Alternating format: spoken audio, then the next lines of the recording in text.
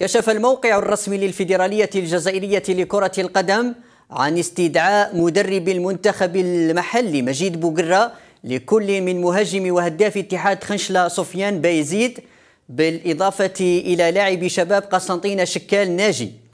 وتأتي هذه الدعوة من مدرب المنتخب المحلي بعد تسريحه لاعب اتحاد العاصمة من تربص تونس للمشاركة رفقة ناديهم في منافسة كأس الكاف.